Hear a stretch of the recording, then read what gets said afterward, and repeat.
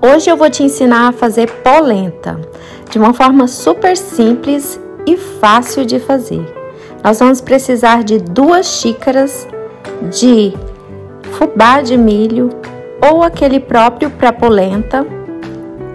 Colocado isso em um recipiente, nós vamos adicionar agora água. Bom, para que esse passo? Isso vai facilitar na hora que a gente for adicionar o restante de água da panela para fazer o cozimento.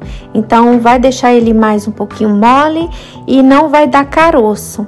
E então fica bem mais fácil se a gente já umedecer um pouquinho e não colocar o pó direto na água da panela. Bom, nós utilizamos também aí duas xícaras de água. Viu que já está lisinho, sem nenhuma bolinha? Nós vamos para a parte da panela. Com a panela, nós vamos colocar um pouco de azeite. Aí vai o tanto que você quiser, mas é mais ou menos uma colher. Mais ou menos uma cebola picada. Eu já uso assim, ela já cortadinha.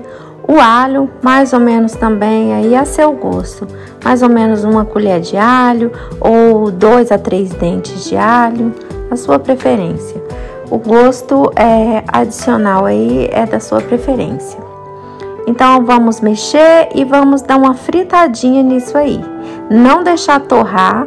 Eu vou colocar também um caldo, isso pode ser tanto de galinha quanto de carne e vamos deixar a cebola e o alho bem dissolvidinho.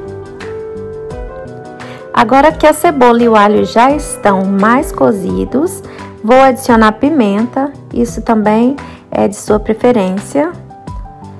Agora está bem cozidinho, vamos adicionar 600 ml de água em temperatura ambiente e vamos adicionar a misturinha do fubá com água que nós já fizemos.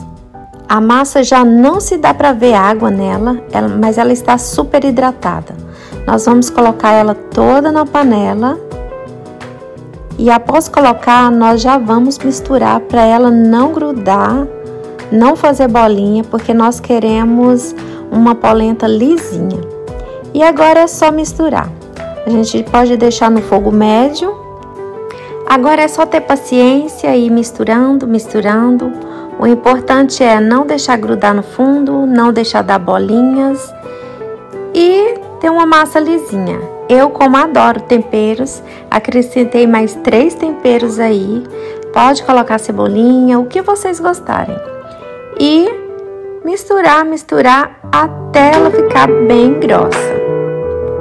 Eu cortei o vídeo para não ficar tão longo mas você vai mexer até chegar a esse ponto aí. Esse ponto é o ponto ideal da polenta.